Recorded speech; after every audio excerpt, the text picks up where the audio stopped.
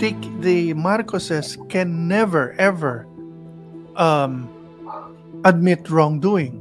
I mean, th- this is the reason they have been spending 30 years to regain a mandate because, from their point of view, um, they have been unjustly accused, that they have been the victim of a conspiracy, and that they are undergoing persecution.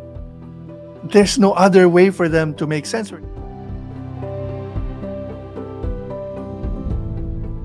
There's, there used to be a saying that um, Mrs. Marcos herself, after she was a young sort of you know bride, had, ha, couldn't bear the fact when she realized the the harsh realities of politics, and then she had to seek um, help. And the basic choice she was given is, well, then either leave your husband or you just have to embrace it. And what she did according to this theory, is that she then created a, a little bubble around herself in which everything made sense.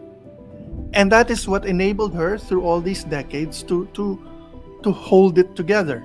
Now, um, that may or may not be true, but it definitely is true in terms of the whole Marcos uh, political identity and myth. They can never um, admit to anything they are accused of, and in fact, they must seek to triumph in the end against everyone who has uh, accused them of this.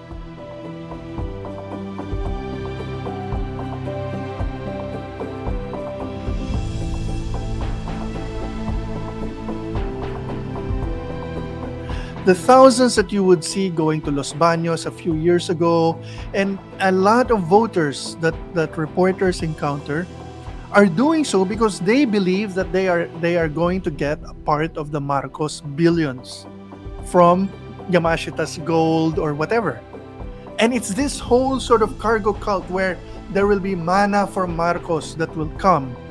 That is a big chunk uh, of their of their myth and their vote and their machinery. It's this promise that they will everyone is going to benefit, um, and they're probably going to be tens of thousands, if not hundreds of thousands, of voters, you know, who view the Marcoses as a lotto ticket to to prosperity.